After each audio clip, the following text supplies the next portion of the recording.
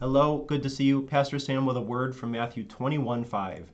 Behold, your king is coming to you, humble and mounted on a donkey. Jesus came in to the city of Jerusalem on what we call Palm Sunday in kind of a strange way. He comes as the people's king, but he's not on a horse. He doesn't have a sword and a shield. He doesn't have a golden crown on his head. He's not he's not a regular king.